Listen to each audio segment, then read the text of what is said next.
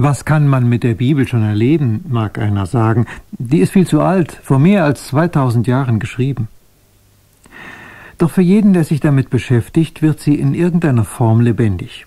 Denn wer mit der Bibel zu tun hat, der bekommt es automatisch mit demjenigen zu tun, um dessen Willen sie geschrieben wurde. Mit der Bibel erlebt heißt also letztlich mit Gott erlebt. Ich bin ihm begegnet. Davon berichtet Ruth Heil, Mutter von elf Kindern, Autorin zahlreicher Bücher und engagiert in Vortrags- und Seelsorgearbeit. Als ich mein Leben Jesus anvertraut hatte, ich war damals noch ein Kind, gab mir mein Vater folgenden Rat. Schreibe dir die Freundlichkeiten Gottes auf. Immer, wenn du ihn um etwas Bestimmtes bittest, vermerke es dir. Und wenn er es dir dann gibt, dann vergiss nicht, ihm dafür zu danken. Und wenn du erlebt hast, wie er dir durch eine schwere Situation durchgeholfen hat, schreibe es auf. Wir Menschen sind so vergesslich. Das Jammern schaffen wir viel besser als das Danken. Und wenn es uns schlecht geht, verlieren wir oft die Fähigkeit, uns an das Gute zu erinnern. Deshalb schreibe alles auf in ein Lob- und Dankbüchlein. Das soll dir ein ständiger Begleiter sein. Dieses Büchlein habe ich aufgeschlagen, als ich die Geschichten dieses Buches niederschrieb. Dabei kam vieles wieder in meine Erinnerung, was ich längst vergessen hatte. Und während ich es las, stieg aus meiner Seele oft ein großer Jubel auf zu Gott. Wie groß bist du, sang es in mir. Wie groß, Herr, dass du das Bitten deiner Kinder hörst. Du gewaltiger Schöpfer Himmels und der Erde, hörst auf deine Schöpfung und noch mehr, du liebst uns. Vergiss nicht, das muss uns in dieser schnelllebigen Zeit immer neu zugerufen werden. Leider vergessen wir oft das Gute, während uns das Böse lange im Gedächtnis bleibt. Es ereignete sich im letzten Weltkrieg. Einige junge Soldaten waren gefangen genommen worden und miserabel versorgt. Keiner von ihnen wusste, ob er je die Heimat wiedersehen würde. Einer der Soldaten hatte über seiner Schlafstelle einen kleinen, zerrissenen Zettel angebracht. Darauf stand Vergiss nicht. Die anderen machten sich ihre Gedanken darüber. Sicher will er all das Schlimme, das sie uns hier angetan haben, nicht vergessen, meinte der eine. Der wird sich alles merken, um es ihnen irgendwie einmal heimzuzahlen, spekulierte ein anderer. Schließlich hatte einer den Mut, ihn zu fragen. Du wirkst gar nicht so voll Groll. Eher machst du fast einen zufriedenen Eindruck. Was heißt das? Vergiss nicht. Hält dich der Hass am Leben? Der Fragende erhielt eine verblüffende Antwort. Vergiss nicht, erklärte ihm der Betroffene, erinnert mich daran, Gott für all das Gute, das er in meinem Leben gegeben hat, zu danken. Da waren meine Eltern, die mich liebten und mir den Weg zu Gott zeigten. Es gab Menschen, die mir wohl wollten. Und nicht zuletzt habe ich die Zuversicht, dass Gott inmitten all dieser Not täglich bei mir ist, das will ich niemals vergessen. Wenn Gott uns vergibt, vergisst er all unsere Schuld, als habe es sie nie gegeben. Auch wir sollten diese Vergebung üben, und wenn wir es selbst nicht schaffen, die Kraft dazu von ihm erbitten. Vergebung befreit. Bitterkeit schadet uns nur selbst und macht uns krank. Am meisten jedoch sollten wir lernen, all das Gute, das Gott uns getan hat, nicht zu vergessen. Wir dürfen regelrecht unsere Seele zu diesem Nichtvergessen auffordern, wie es der Schreiber des 103. Psalms praktiziert. Lobe den Herrn, meine Seele, und vergiss nicht, was er dir Gutes getan hat.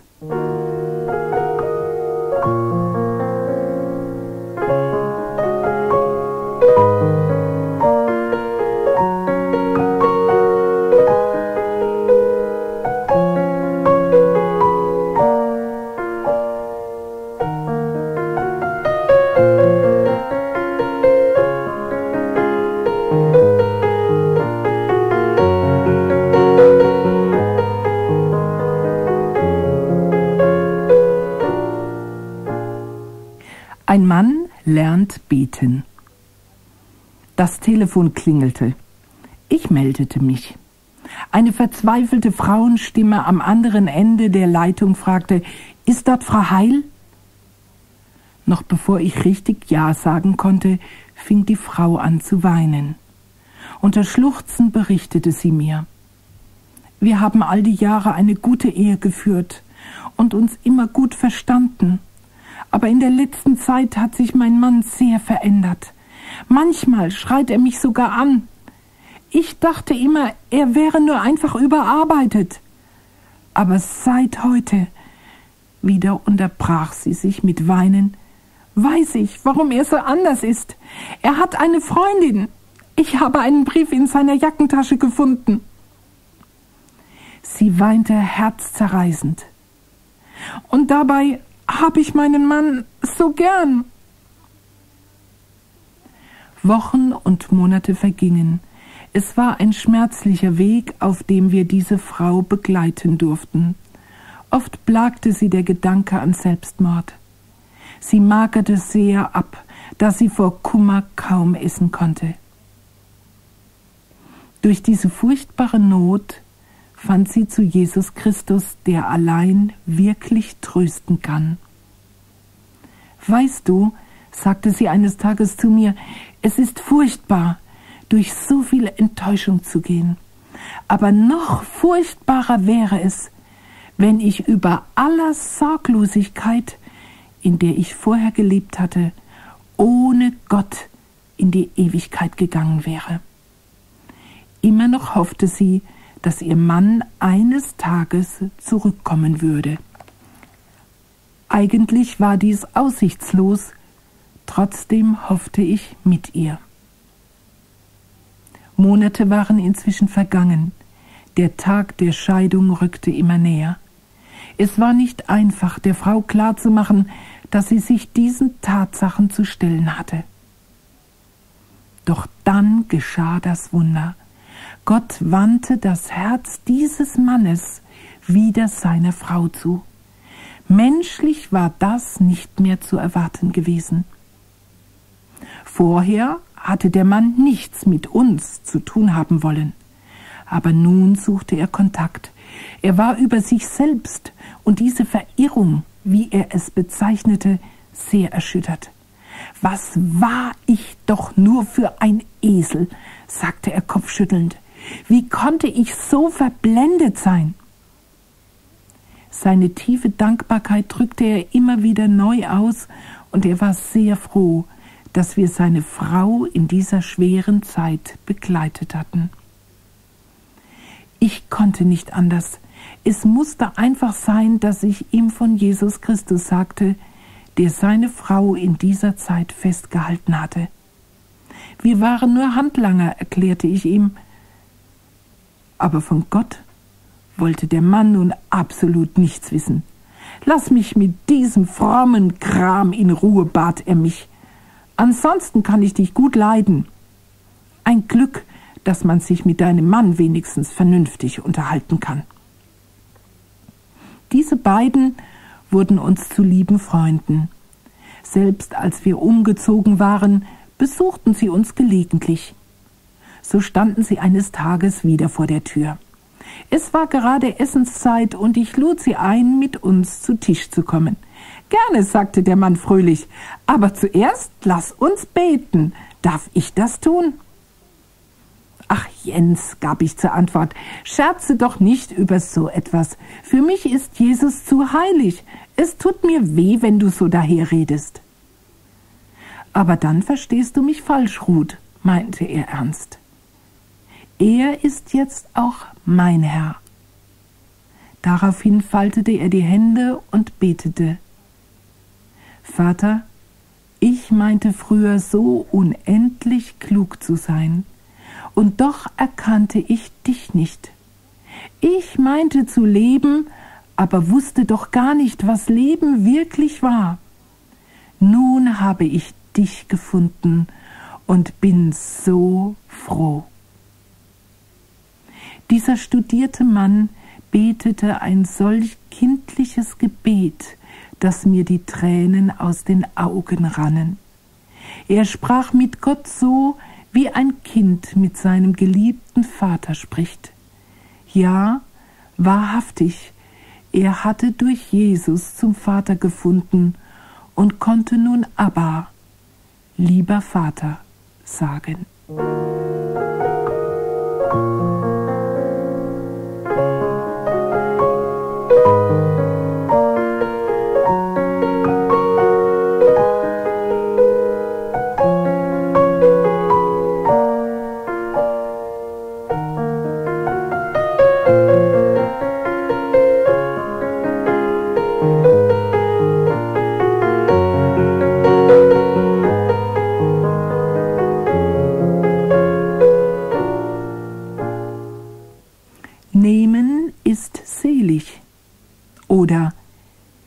Ein Deo-Stift notwendig?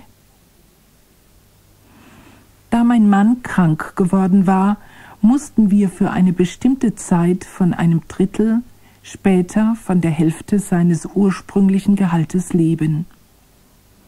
Dies war nicht ganz einfach, denn es waren allerhand Ausgaben zu bestreiten. Dazu kamen unsere vier Kinder und wir hatten viel Besuch. Menschen holten sich Rat, andere suchten ein wenig Geborgenheit in unserer Familie, wieder andere wollten während der Sommerferien einfach einmal bei uns hereinschauen. Ich habe Besuch wirklich gern, aber dieses Mal waren wir von dem vielen Besuch ziemlich erschöpft. Was uns jedoch noch mehr bedrückte war, dass wir eigentlich kein Geld mehr zur Verfügung hatten, um Lebensmittel einzukaufen. Und der Monat war erst zur Hälfte herum.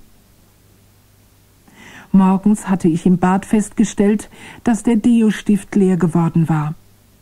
Da wir einen heißen Sommer hatten, war es eigentlich kein Luxus, sich einen Deo-Stift zu leisten. Aber Lebensmittel sind doch notwendiger, ging es mir durch den Kopf. Ich hielt das leere Behältnis vor mich hin und sagte, Herr, es ist leer. Du weißt, was für mich nötig ist. Kurze Zeit später klingelte es an der Haustür. Freunde waren zu einem Ausflug unterwegs. Lilo kam fröhlich herein und drückte mir ein kleines Päckchen in die Hand. Preis sei Jesus, sagte ich mit bewegtem Herzen. Sie schaute mich verständnislos an. Ist bei dir alles in Ordnung? fragte sie. Und ob, entgegnete ich, Gott ist wunderbar. Ich weiß, was in deinem Päckchen ist. Ach nein, entgegnete sie verlegen, es ist nichts Besonderes. Wir hatten keine Zeit, etwas zu besorgen. Da nahm ich das da. Sie zeigte dabei auf das Päckchen aus dem Schrank. Das kann man bei dem heißen Wetter immer gebrauchen. Ich packte ihren Deo-Stift aus und erzählte ihr davon, dass meiner morgens leer geworden war. Sie freute sich von Herzen mit, dass sie das Richtige gebracht hatte. Doch immer noch fehlten uns die Lebensmittel. Warum erfüllte Gott einen Wunsch, der eigentlich gar nicht so wichtig war, und gab uns nicht, was wir zum Leben viel dringender brauchten? Wir wollten ihm vertrauen, dass er alle Dinge wusste. Wenn ihm schon mein Deo nicht gleichgültig war, dann kannte er auch unseren anderen Bedarf. Wir dankten ihm, dass er unser Vater war und er für seine Kinder sorgen würde. Es war kurze Zeit später. Unsere Freunde hatten sich schon wieder auf den Weg gemacht. Da klingelte es erneut. Eine alte Dame stand vor der Tür. Ich kannte sie nur flüchtig. Wir hatten uns einmal im Wartezimmer beim Arzt unterhalten über die Art, wie man mit Kindern über Gott reden kann. Frau Heil, begann sie zaghaft, mir ist heute etwas Eigenartiges passiert. Ich bin zwar schon alt, aber verwirrt bin ich nicht. Bitte glauben Sie mir. Ich ging zur Bank, um Geld zu holen. Da hieß es in meinem Herzen, nimm das Geld, geh zum Lebensmittelgeschäft und kaufe für Familie Heil ein. Sie unterbrach sich. Sie glauben mir doch hoffentlich. Mir ist so etwas in meinem ganzen Leben noch nicht passiert. Ich kaufte also ein, und hier bin ich, um es Ihnen zu bringen. Mit zwei Tüten schwer beladen war sie auf dem Fahrrad zu unserem Haus gefahren. In den Tüten befanden sich Reis, Nudeln, Butter, Zucker, Mehl, lauter Dinge, die man zum täglichen Leben braucht, sogar Schokolade. Ich war richtig beschämt. Diese Frau hatte sicher nur eine kleine Rente, und sie beschenkte uns auf großartige Weise. Tief bewegt erzählte ich ihr, wie ich Gott gebeten hatte, uns das Nötigste zu geben. Durch sie hat der Herr mich erhört, berichtete ich ihr mit dankbarem Herzen. Sie selbst aber war noch mehr berührt. Dann war es Gottes Stimme, der ich gehorcht habe. So etwas ist mir noch nie vorgekommen. Nun war ich beschenkt mit Lebensmitteln für mehrere Tage und sie war beschenkt mit einem überglücklichen Herzen. Jetzt gewann das Wort Gottes Geben ist seliger als Nehmen neu für mich an Bedeutung. Ja, wirklich, diese Frau war seliger als ich, aber ich war auch selig. Wenn Geben seliger ist als Nehmen, so bedeutet das, dass auch das Nehmen selig ist. Nun hatte ich verstanden.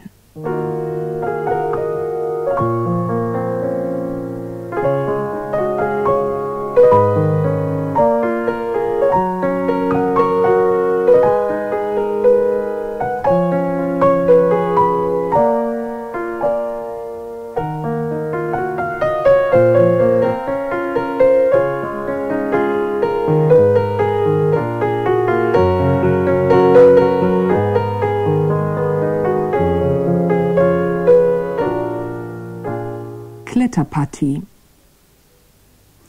Paulus spricht im Römerbrief einen eigenartigen Satz aus. Denn wir wissen nicht, wie wir beten sollen, sondern der Geist selbst vertritt uns mit unaussprechlichem Seufzen. In dieser Geschichte will ich erzählen, wie ich diesen Bibelvers begriffen habe. Wieder einmal erwarteten wir Besuch. Aber er war kein Fremder. Ein bisschen gehörte er zu unserer Familie, weil er unser Freund war. Wie freuten wir uns auf unseren holländischen Gast, der von seinen vielen Reisen nach Ost und West immer herrliche Erzählungen mitbrachte. Das stärkte unseren Glauben und wir wussten, dass Gott auch heute noch Wunder tut. Bei ihm sind nicht nur die großen Dinge unseres Lebens wichtig, sondern auch die alltäglichen. Es klingelte. Das musste er sein. Ich lief zur Tür, aber da stand nicht nur der fliegende Holländer, wie wir ihn im Scherz oft nannten, sondern noch ein zweiter Mann vor der Tür. Als er meinen erstaunten Gesichtsausdruck sah, lachte er Heute habe ich mich verdoppelt. Wir sind zu zweit gekommen. Auf diese Weise hast du die Chance, möglicherweise gleich zwei Engel zu beherbergen. Wir aßen miteinander, beteten und freuten uns an den Wohltaten Gottes. Dann verabschiedeten sie sich mit den Worten Morgen haben wir hier in der Gegend noch zu tun. Übermorgen kommen wir dann noch einmal bei euch vorbei, bevor wir weiterziehen. Ihr seid uns herzlich willkommen, ließen wir sie wissen. Ein neuer Sommertag hatte begonnen. Im vielerlei der Pflichten war der Morgen wieder viel zu schnell herumgegangen. Es war Mittagzeit und ich suchte die Zutaten fürs Essen zusammen. Unsere Kleinste hatte gerade laufen gelernt. Sie war darin noch nicht ganz sicher, aber sie übte mit großer Hingabe und freute sich an dieser Neuentdeckung. Die Fenster waren weit geöffnet und die Sonne schien warm herein. Bald werde ich beim Öffnen der Fenster vorsichtiger sein müssen, ging es mir durch den Kopf. Die Kleine klettert viel herum. Aber noch ist keine Gefahr. Mit diesen Gedanken begab ich mich in die Kochküche und begann mit der Zubereitung des Mittagessens. Nur wenige Minuten waren vergangen, als ich innerlich ständig die Mahnung verspürte, nach dem Kind zu sehen. Bin ich denn so ein ängstlicher Mensch? schalte ich mich selbst. Eben habe ich doch noch gerade nach ihr geschaut. Was soll schon sein? Sie wird schon schreien, wenn etwas nicht stimmt. Aber all mein inneres Argumentieren half nichts. Es war, als würde ich mit Gewalt aus der Kochküche in die Wohnküche gezogen. Was ich da sah, ließ fast mein Herz aussetzen. Die Kleine hatte, ohne dass ich etwas gehört hätte, den Stuhl zum Fenster gerückt. Auf ihn hatte sie einen kleinen Hocker gestellt. Schon dies war ein Meisterwerk für so ein kleines Menschenkind. Aber das war nicht alles. Denn sie hatte es offensichtlich geschafft, über dieses wackelige Gestell das offene Fenster zu erreichen. Als ich hinzukam, war sie mit Händen, Kopf und Oberkörper schon auf dem äußeren Fenstersims angelangt. Jeder, der sich ein wenig in der Anatomie auskennt, weiß, dass der kindliche Kopf wesentlich größer und schwerer im Verhältnis zum Körper ist als der des Erwachsenen. Dazu hat ein Kleinkind noch kein so gut ausgeprägtes Gleichgewichtsempfinden wie ein ausgewachsener Mensch. Die Gefahr, dass das Kind aus dem Fenster fallen könnte, war ungemein groß. Hinter dem Fenstersims ging es mehrere Meter in die Tiefe. Diese schreckliche Gewissheit durchzuckte meine Gedanken. So schnell ich konnte, rannte ich zum Fenster. Ich packte den Fuß des Kindes mit der einen Hand und umfasste die Hüften mit der anderen. Langsam zog ich das Kind wieder ins Zimmer. Mein Herz pochte laut. Dann sank ich mit dem Kind in den Armen auf einem Stuhl nieder. Herr, betete ich voll Dankbarkeit. Danke, dass du uns unser Kind noch einmal geschenkt hast. Der Tag ging zu Ende und ein neuer begann. Die beiden Holländer wollten heute wiederkommen. Wir waren gespannt, was sie mit Gott erlebt hatten. Was war gestern bei euch los? fragte der eine höchst interessiert schon an der Haustür. Gestern? Ich überlegte. Um welche Zeit denn? wollte ich wissen.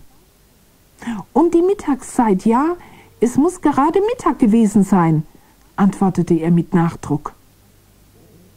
Aber wie kannst du das denn wissen? äußerte ich erstaunt. Niemand wusste von dem Geschehen, außer meinem Mann und unseren Kindern. Wirklich niemand?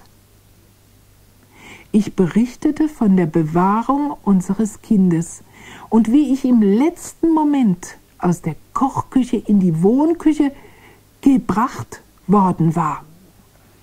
Unser Freund erzählte nun, wir waren gestern gerade unterwegs, als ich sehr deutlich an euch erinnert wurde. Es war so eindrücklich, dass ich für euch beten musste.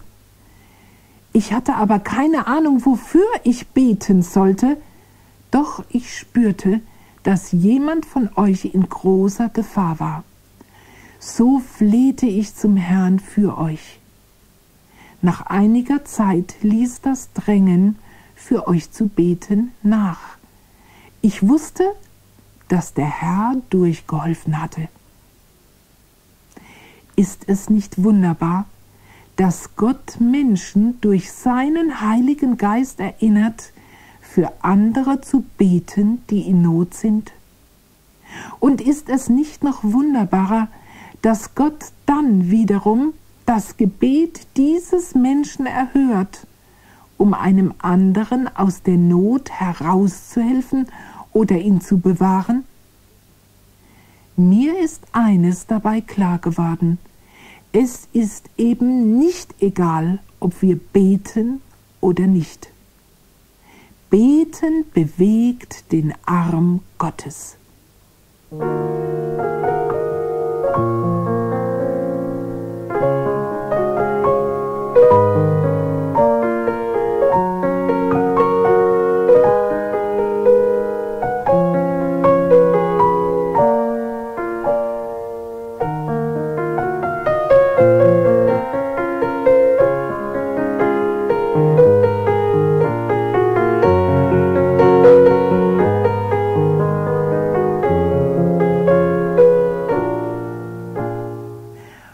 Weia, da muss ich aber nachzählen. Kinder können sehr süß sein und manchmal sagt man ja zu ihnen, du kleiner Engel. Aber sie sind natürlich keine Engel. Die Engel Gottes aber sind um die Kinder. Kinder haben tatsächlich ganz besondere Engel. Jesus sagt uns von diesen Engeln im Matthäusevangelium, dass diese Engel alle Zeit das Angesicht seines Vaters sehen. Ruth, sagte Hans-Joachim eines Morgens zu mir, da ist eine Einladung von einer Bibelschule gekommen.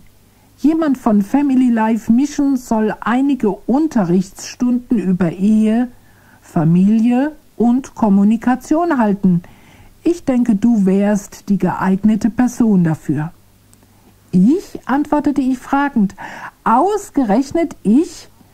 Es bereitet mir zwar Freude, über diese Themen zu sprechen, aber was wird in dieser Zeit aus den Kindern?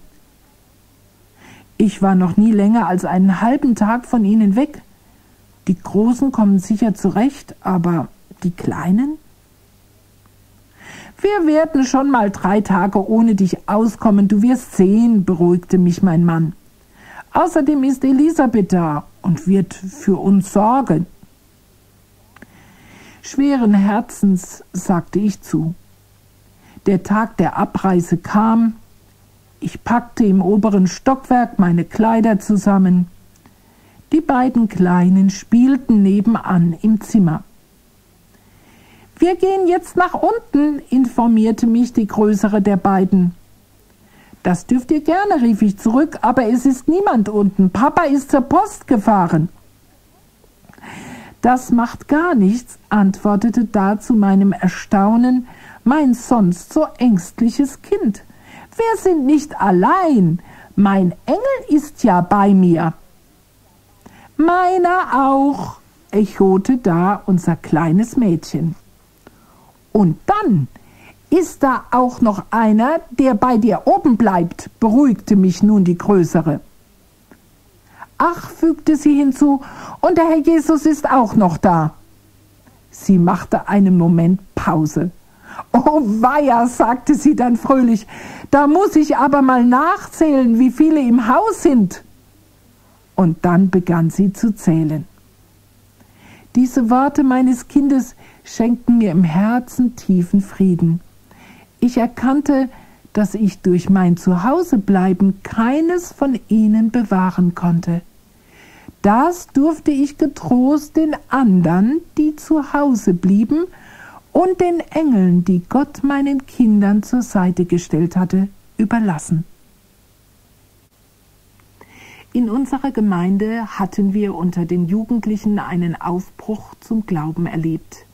Es war eine Freude zu sehen, wie in dieser Zeit der Drogen und des Alkohols junge Menschen von Sünde und Gebundenheit frei wurden. Für uns als Familie stand ein Umzug bevor. Aber wir dürfen euch doch weiterhin besuchen, vergewisserten sich die Jugendlichen. Bitte haltet doch Freizeiten für uns. Wir haben jetzt zwar nicht mehr so viel Platz im Haus wie vorher, gaben wir zu bedenken, aber ihr seid herzlich willkommen. Der Sommer kam. Wir hatten ein Wochenende mit den jungen Leuten geplant. Sonntags sollten sie alle im Gottesdienst mitwirken mit Liedern und Zeugnissen. Deshalb wollten sie schon samstags mittags anreisen. Auf einer nahegelegenen Wiese bauten sie ihre Zelte auf. Um die Verpflegung braucht ihr euch nicht zu kümmern, hatten sie uns mitgeteilt, die bringen wir selbst mit. Im Bach kühlten sie in Behältern Würste, Suppe und Butter, so dass sie nicht einmal unseren Kühlschrank in Anspruch nehmen mussten. Sie waren stolz darauf, Selbstversorger zu sein und teilten alles Essbare miteinander. Allerdings hatten sie vergessen, jemanden zu bestimmen, der für die Einteilung der Lebensmittel zuständig war. Es war Abend geworden. Die Äste knackten im Lagerfeuer und gaben herrliche Wärme ab. Während sie in der Glut zusammensanken, saßen wir um das Feuer, rösteten Würste und erzählten einander, was Gott in unserem Leben gewirkt hatte. Mein Mann und ich waren bewegt davon, mit welcher Freude die jungen Menschen Jesus nachfolgten. Es war spät, als wir schließlich auseinandergingen. Deshalb staunten wir nicht schlecht, als am Sonntagmorgen schon um acht Uhr die Hausglocke läutete. Drunten stand einer der jungen Leute.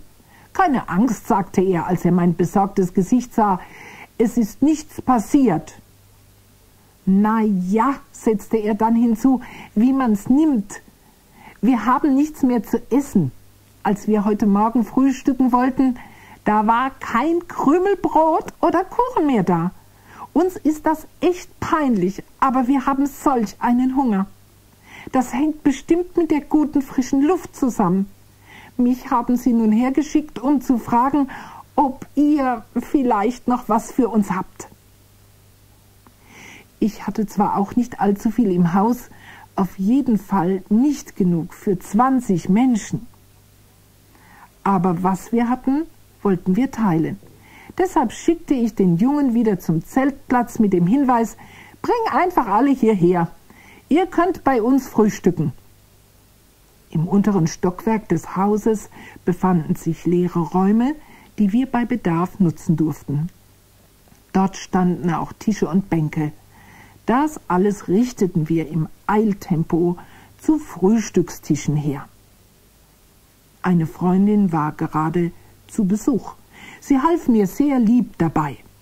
Marmelade haben wir ausreichend da, ging es durch meinen Kopf. Die Butter wird wohl nicht ganz reichen und Brot, nun, das wird sehr kritisch werden. Wir schneiden alles Brot auf und stellen es auf den Tisch bedeutete ich meiner Freundin. Während ich in Eile die Sachen zusammenrichtete und Kaffee kochte, schnitt sie das Brot und richtete es in Körbchen. Ich wunderte mich, warum sie so oft ins untere Stockwerk lief. So viel Brot hatten wir doch gar nicht. Schließlich hatte die ganze fröhliche Schar Platz genommen. Wir dankten dem Herrn für das Essen und segneten es. In meinem Herzen aber hatte ich die spezielle Bitte an den Herrn, alle mögen doch satt werden. Ich wünschte allen einen guten Appetit. Hilfe! und ging dann nach oben, um unsere Kleinen anzuziehen und für den Gottesdienst fertig zu machen. Bald kamen die ersten nach oben, um das Geschirr zu spülen. Seid ihr satt geworden? fragte ich mit bangem Herzen. Und ob, antwortete Theo. Schau, in meinem Brotkorb ist noch genug übrig. Aber ihr habt ja kaum etwas gegessen, sagte ich. Da merkt man, dass du nicht dabei warst, antwortete er lachend. Frische Luft macht hungrig. Aber jetzt sind wir wirklich satt. Sie gingen zurück zu den Zelten, um die Liederhefte für den Gottesdienst zu holen. Während wir alles wegräumten, fing ich an zu staunen. Es war noch jede Menge übrig geblieben. Wie viele Körbchen hast du denn mit dem Brot gefüllt? fragte ich erstaunt meine Freundin. Eine ganze Menge, du siehst es doch, antwortete sie mir. Aber so viel Brot war ja doch gar nicht da, gab ich ihr zu verstehen. Na, aber sicher, ich hab es doch selbst aufgeschnitten, sagte sie. Dann hielt sie inne, besann sich und fuhr mit Erstaunen in der Stimme fort, aber wir hatten ja nur ein einziges angeschnittenes Brot. Du hast vielleicht nur drei Stück Brot in jedes Körbchen gelegt, wollte ich erklärend helfen. Aber nein, sagte sie fast ärgerlich, frag doch die anderen, die haben nämlich ganz schön beim Frühstück zugelangt. Da erst wurde uns bewusst, dass Gott bei uns eine Vermehrung des Brotes gewirkt hatte. Alle waren satt geworden, und es waren mehr als zwanzig Leute, und es war noch übrig geblieben. Gott gibt überreich. Am Nachmittag bekamen wir überraschend Besuch von lieben Freunden. Als kleine Freude hatten sie uns einen Leib selbstgebackenen Brotes mitgebracht.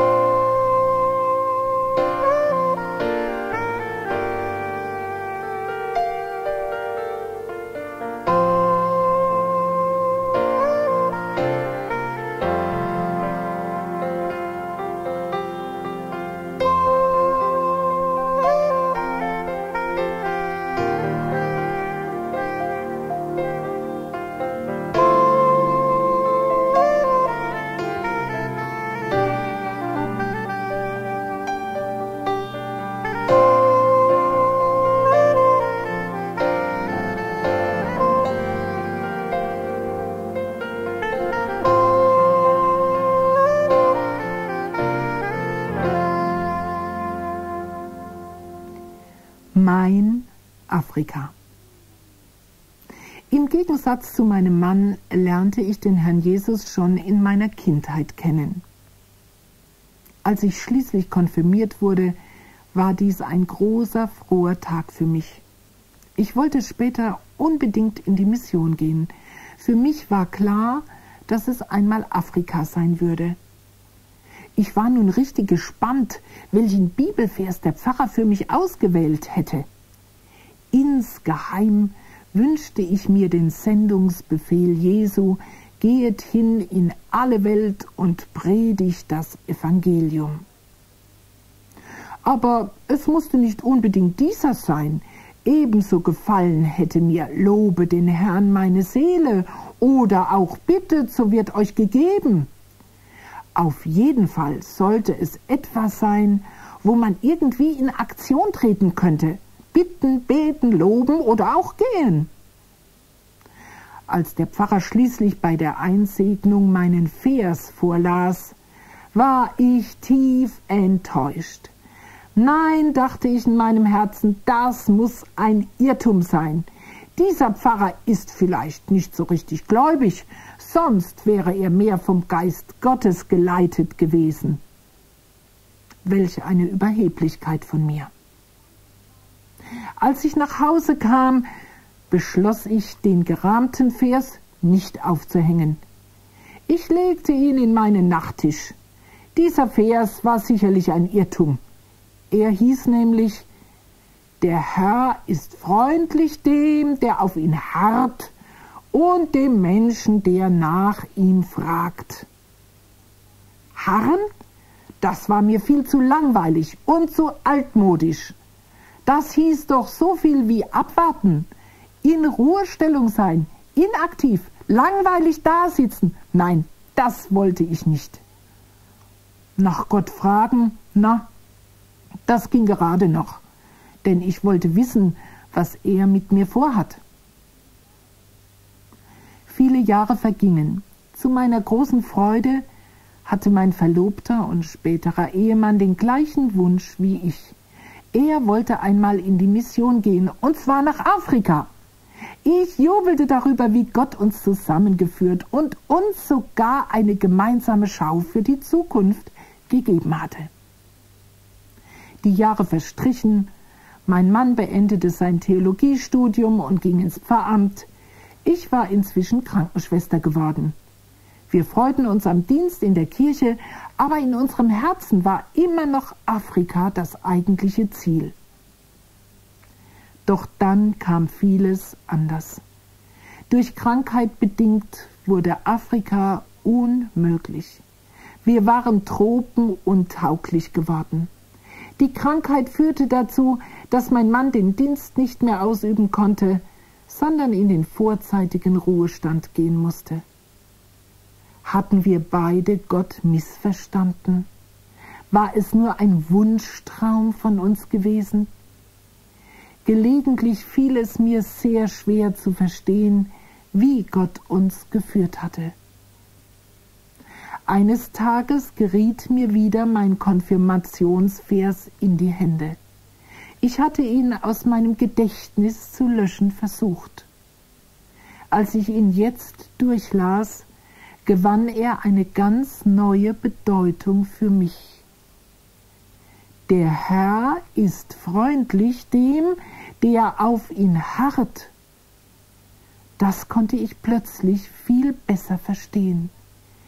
Es ging nicht darum, ob mein Wunsch erfüllt wurde, sondern darum, dass Gottes Plan für mein Leben geschah. Ich merkte, dass das Harren manchmal viel schwerer ist als das Gehen, das Abwarten schwerer als das Handeln. Und ich beschloss neu, Gott einfach zu vertrauen, dass er es richtig machen würde. Im Fragen meiner Seele nach ihm würde es irgendwann eine Antwort geben. Das wusste ich. Mit 17 Jahren hatte ich für fast ein Jahr in der Familie von Walter Trobisch mitgeholfen. Diese Zeit war mir zum großen Gewinn geworden. Nicht nur, dass ich mehr über Afrika erfuhr, die Familie war für elf Jahre dort gewesen, sondern ich wurde auch mit Eheberatung vertraut. Außerdem lernte ich dort damals meinen späteren Mann kennen, der als Student bei ihnen ein- und ausging. In der Zeit nun, in der mein Hans-Joachim krank geworden war, starb eine Mitarbeiterin von Walter Trobisch.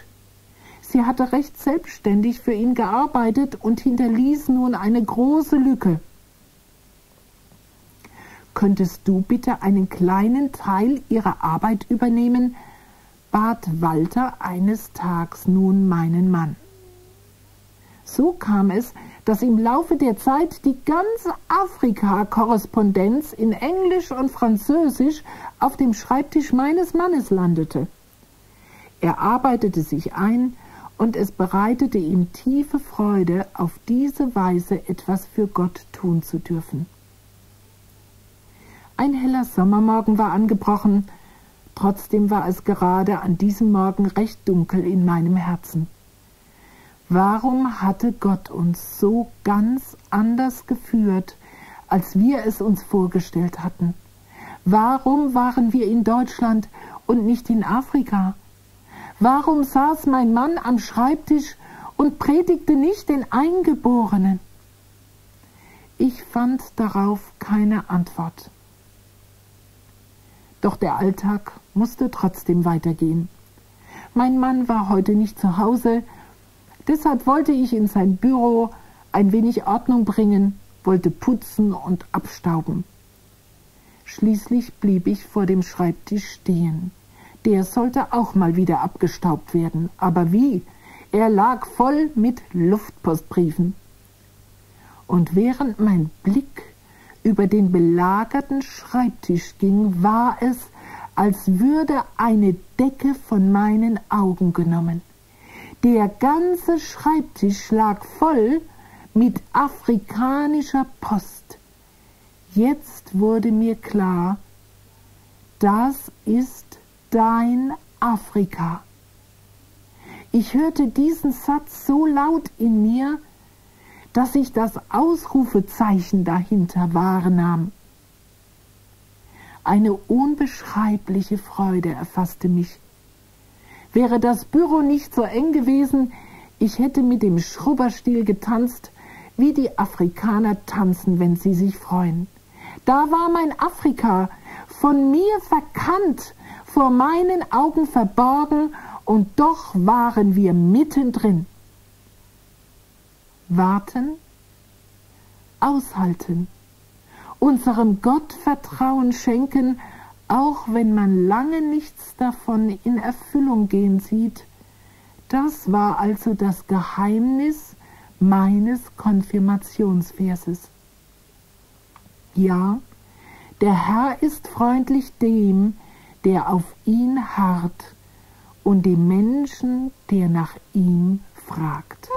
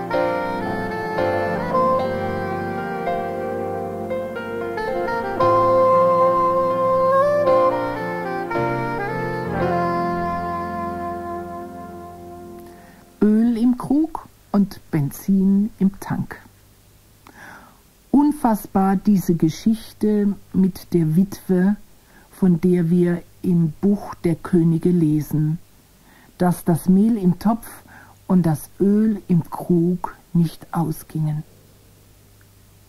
Ob diese Witwe manchmal sorgenvoll in das Vorratsgefäß hineinschaute, oder ob sie in kindlichem Glauben täglich neu vertraute, dass der Herr für sie sorgen würde, Viele moderne Menschen zweifeln an der Wahrheit der biblischen Geschichten.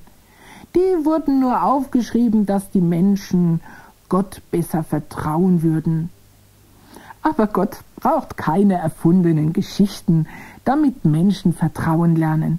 Er lehrt uns Vertrauen, indem er sich um die kleinen und großen Belange unseres Lebens kümmert, wie damals bei der Witwe.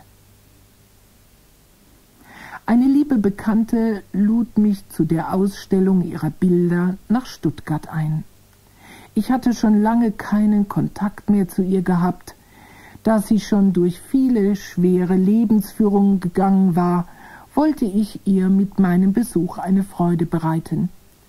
Ich hatte die vier Kleinen dabei, und sie genossen es als Ausflug. Doch die fast 200 Kilometer zogen sich lange hin. Allmählich wurden die Kinder unruhig.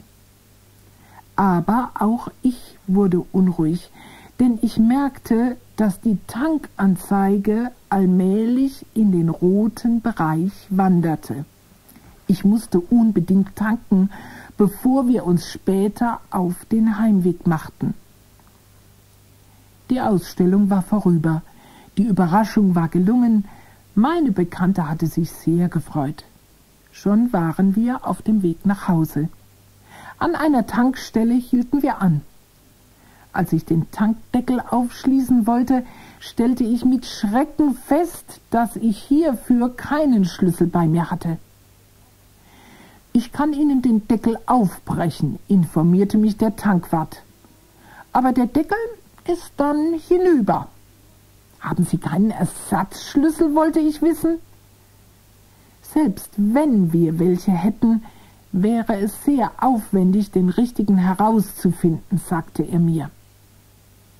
Schmerzlich ging es mir durch den Sinn, wie oft mein Mann mich daran erinnert hatte, etwas sorgfältiger mit Schlüsseln umzugehen.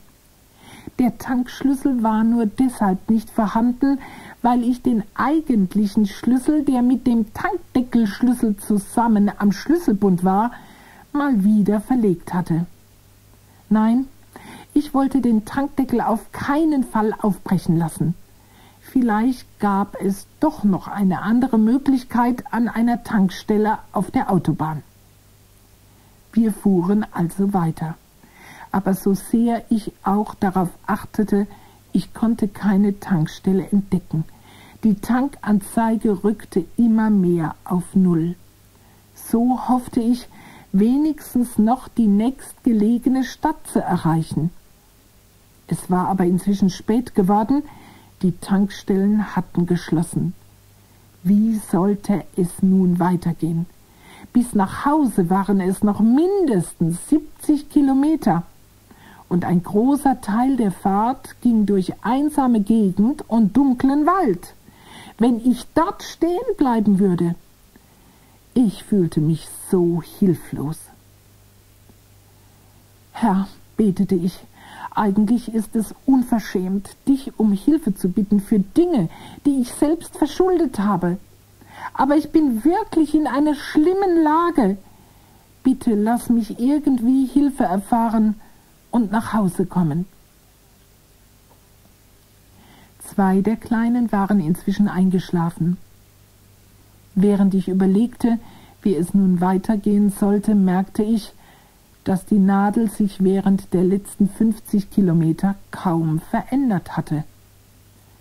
So beschloss ich, was blieb mir auch anderes übrig, einfach weiterzufahren. In meinem Herzen hatte ich irgendwie die Gewissheit, dass Gott für uns sorgen würde.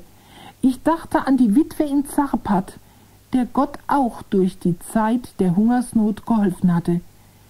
Er wusste sicher auch für mich einen Weg. Dunkel senkte sich die Nacht herab. Fast keine Autos kamen mir entgegen. Schließlich erreichte ich unser Zuhause. Mein Mann kam mir entgegen und half mir, die Kinder ins Haus und ins Bett zu bringen. Wir lassen den VW-Bus über Nacht im Hof stehen, erklärte er, sonst stören sich die Nachbarn vielleicht am Lärm, wenn wir nochmals starten, um ihn in die Garage zu fahren. Ich berichtete meinem Mann von meinem Missgeschick mit dem vergessenen Schlüssel. Und du bist ohne zu tanken wieder nach Hause gekommen? Das ist ja selbst bei sparsamster Fahrweise unmöglich.